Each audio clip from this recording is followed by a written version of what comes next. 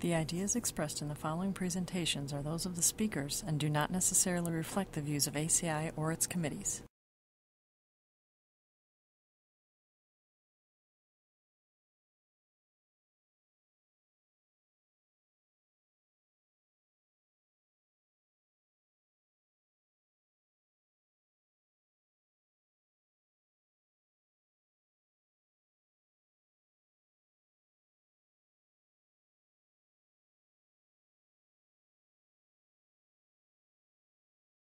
Good evening, everyone. My name is Aashay Arora, and I'm a PhD student at Arizona State University. This is my first presentation at ACI, so if I faint, you know why. On a serious note, I'd like to thank uh, ACI for giving me this opportunity to present my research at this platform. I'll be presenting my research on hydration and strength development in ternary Portland cement blends containing limestone. The outline of my presentation, I'll be going over the introduction, material used, and proportioning, microstructural modeling, discussing the experimental results, and finally conclusions. The current study is focused on ternary blends containing slag and interground or blended limestone. So we know that addition of limestone filler to clinker improves particle packing, provides initial acceleration by providing nucleation sites for the hydration reaction to occur, and also forms AFMC phase and delays the ettringite to AFM transformation. Now for slag, we know that it's pozzolanic as well as hydraulic but due to its latent hydraulicity, it's of very little use by itself. And pozzolanic reaction of slag produces CSH uh, with a lower C2S ratio and a higher density. So having a ternary blend with slag and limestone and cement would be an interesting combination. You know, limestone gives you the better early age properties, and slag, if added to cement, acts as a pozzolanic material and gives you good later age strengths. For the purpose of this research, we use ground granulated blast furnace slag. It has a D50 of 7.6, much finer than C150.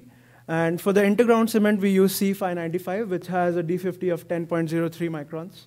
C150, of course, has a D50 of 11.2 microns. We use four different limestones with different particle sizes to create the blended composition. So in all, we had three different replacement levels, 20%, 40%, and 50% different overall replacement levels. So we have blended cements, we have the interground cements, and we have binary OPC and slag mixtures. We designed the mixes such that the particle size distribution of the composite distribution is similar to that of the interground distribution. So limestone in all the blended compositions was 12.68%, which is the same amount of limestone present in C595. And we use all the available limestone sizes and optimize the particle size distribution so that the final particle size distribution of the blended and the interground mixture is the same. Coming on to microstructural modeling. So we developed uh, 3D representative volume elements using a stochastic particle packing model. So here I've shown three different mixtures. One is the OPC and slag binary, where the red particles are OPC particles, cement C150 particles, the blue are slag particles. In the blended 50% replacement, you have 50% C150, and then you have uh, an optimized composition of limestones, and you have slag.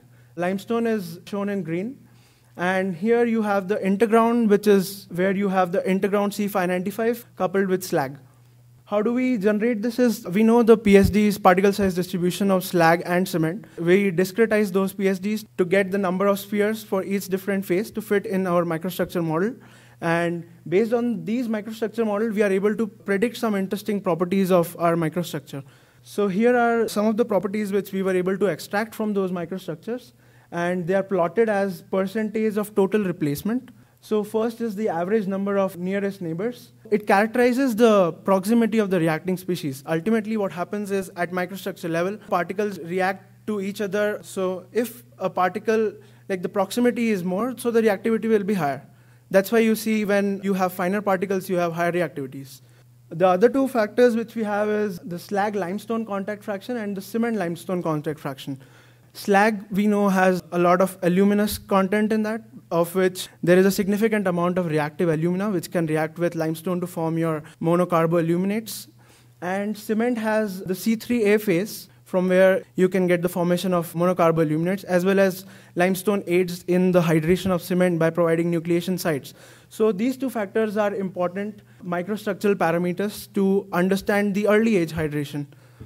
So as we see that as you increase the percentage level of total replacement, so as you increase the slag content, your slag limestone contact fraction goes up. And we are able to find significant differences between the interground and the blended mixtures over here. So the reason for that is, you know, interground cement, although has the same amount of limestone content as the blended ones, the limestone in interground cement is much finer. So as I told before, the median size of C595 is 10.02 microns. And the median size of C150 is 11.2 microns. So you know that it is much finer. And plus, limestone being a softer phase in the grinding process, it grinds to much finer than the limestone which we use to particle size match these blended mixtures. Similarly, for the cement limestone contact fraction, so as you increase the replacement level, we are effectively decreasing the amount of cement in our systems, and that's why the cement limestone contact fraction goes down. However, you can still see that the intergrounds have a higher contact fraction as compared to the blended ones.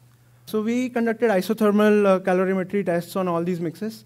What you can see here is the conventional peaks, silicate and aluminate peaks, we are able to identify them in all of the samples. And we can also see enhanced limestone activity in the presence of slag. So from this graph over here, we can see that as we increase the level of replacement or as we increase the amount of slag, the slope of the acceleration phase increases. Also, the length of the dormant period reduces. One more interesting thing which we try to identify here is that there was a significant amount of deviation from the OPC curve in the blended and the interground systems, which was the existence of a tertiary peak, which occurred around 16 to 18 hours. So to find that peak out, if you can see this graph, you know, over here, there is a slight change. It's very deviation from the interground or OPC curve. So when you differentiate that plot, we are able to identify slag hydration peak, which occurs around 16 hours. And the first figure, whereas it indicates that the activity of limestone is increased in the presence of slag because of the alumina content from slag, limestone reacts more, and you have more AFMC phase formation. From the second one, we can see that the activity of slag is also affected by the presence of limestone. Because in a normal OPC blend, and for a blend where the content of slag is much lesser, you don't see this peak.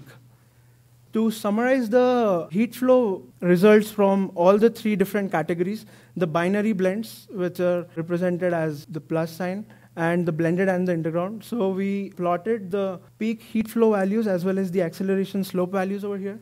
So we can see that both of them generally increase with the level of replacement. And we can attribute that to a positive influence because of the slag and limestone interaction in the systems. And they are negatively influenced by the dilution effect because you're actually reducing the cement content, so you have a significant dilution effect. But overall, the slag limestone interaction dominates also, at 50% replacement level, we can see that the interground mixture has the highest values over here, followed by the blended ones, and then the OPC mixture. These are the cumulative heat plots for all the different systems. So these are the binary blends, these are the interground blends, and these are the ternary blended systems with slag and the blended composition of limestone. We can see that all of the pastes have lower cumulative heat values as compared to OPC. These values are plotted as watt per gram of binder, so here, binder we have considered as OPC plus slag plus limestone overall. So that is why you can see that the values are gradually decreasing as you increase the replacement level, and that's the similar thing in all of the plots over here.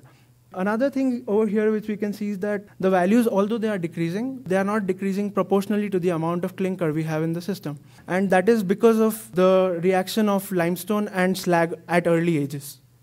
Now, moving on to compressive strength comparison, we did compressive strength starting from day 1 to day 56. And what you see is that early ages, the compressive strength reduces as a function of the replacement level, which is expected because you have less cement in the system. Then, when you see the compressive strength values between day 3 and day 14, we see a kind of a trend reversal in most of the plots over here, like here and over here in the second plot. And in the first plot, it occurs at a later age because you don't have any limestone over there. We attribute that to, first of all, the later age reactivity of slag, which occurs after the diffusion phase of cement OPC starts, as well as the slag and limestone interaction and the reaction of limestone as well. To summarize the compressive strength values, we plotted them as a function of the clinker factor. So we defined the clinker factor as the volume of cement powder in the dry mix to the total volume of the powder. We can see that the compressive strength values increase with the clinker factor at three days, At 56 days, the values are kind of invariant of the clinker factor. So even with a lower clinker factor, we can achieve comparable strengths to that of OPC.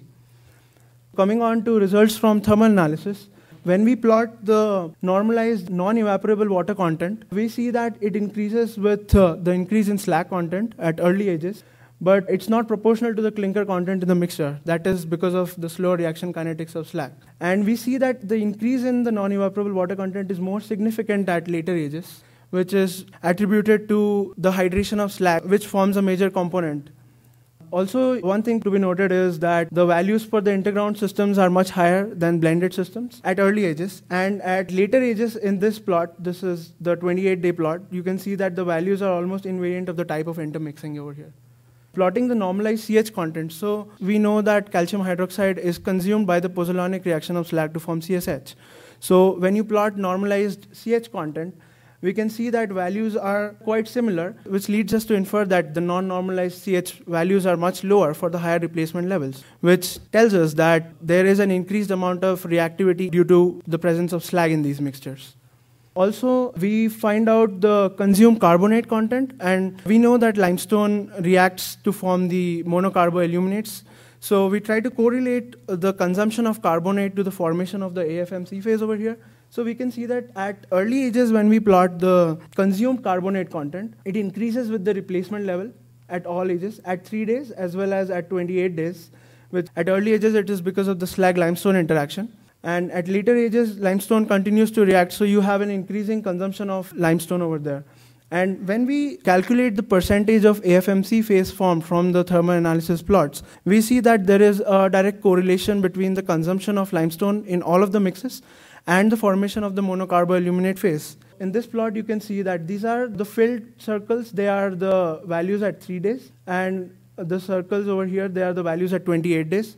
So the consumed carbonate content increases with age, but you can also see that the AFMC phase consumption increases proportionally to the amount of limestone that is consumed in these systems. Coming on to pore structure development, plotted porosities for all of these mixes over here. The binary blends, OPC, are in brown, the blended are in gray, and the intergrounds in blue. And this is the critical pore diameters for all of these mixes, which you get from mercury intrusion porosimetry. So we can see that uh, porosity increases with increase in the slag content in these mixes, which is evident because of the presence of slag and limestone, which hydrate less compared to OPC. But when we compare the critical pore diameters, we see that you have a pore size refinement over here because your critical pore diameters reduce as you increase the level of slag and limestone in these mixtures. The reason for what we attribute to the formation of denser calcium silicate hydrates, which is formed due to the hydration of slag. Also, we can note that the interground pastes have lower porosities as compared to the blended ones. One of the key reasons is that the limestone in the interground systems is much finer as compared to the limestone in the blended systems. Of course, like binary blends have the least porosities because you have more amount of total product that hydrates. You have only OPC and slag. You don't have any limestone over there. Coming on to the conclusions, we were able to identify a synergistic effect of slag and limestone. On one hand, where the consumption of limestone was increased because of the presence of slag and particularly the reactive aluminates in slag, the reactivity of slag was also increased in the presence of limestone. So there is that synergistic effect. Also, we were able to find out a linear correlation between the consumption of carbonates and the formation of the monocarboaluminate phase. And then with respect to the compressive strengths, we saw that at later ages, the strengths were invariant of the clinker factor. So you were able to get comparable strengths even by having less cement content. With respect to the porosities, we saw that there was a pore size refinement in the ternary blends containing limestone and slag. So that's it. Thank you. And I'd like to acknowledge my advisor, Dr. Neithalath, and the lab staff at ASU, and my colleagues Kirk, Akash, Matt, and Vikram. Thank you.